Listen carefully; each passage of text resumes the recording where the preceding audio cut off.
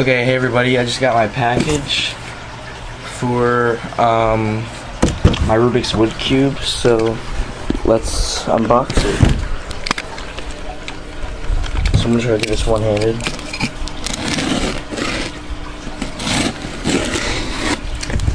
It came in one day, so yeah. Wow. Okay.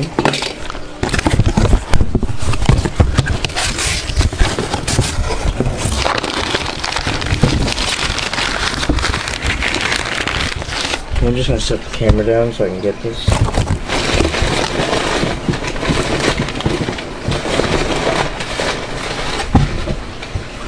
Okay, so here it is, the Rubik's Wood Cube. It's actually really heavy. Okay, so I'm gonna open this up.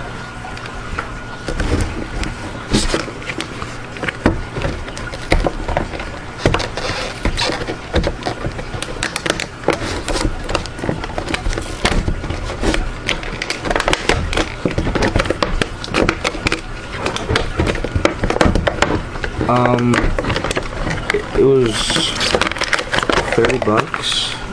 Whoops, rip that. But yeah, here it is.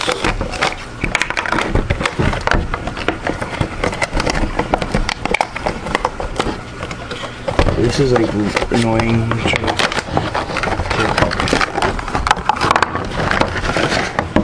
It's really heavy. Here's a stand, and here's like the plastic sheeting and stuff. So yeah. So here it is, the Rubik's Wood Cube. Um, it feels really cool. So first turn, not too bad.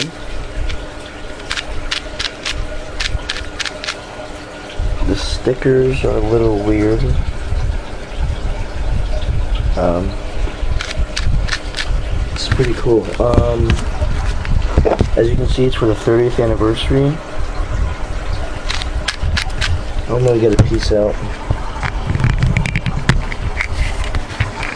So, everything's wood except for this part of the edge and this corner.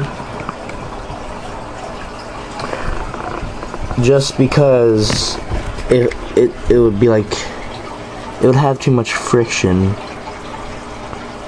Um, here's what the core looks like.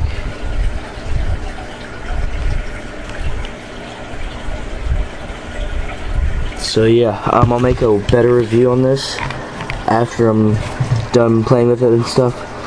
Uh, and yeah, this is just the unboxing of my Rubik's Wood Cube.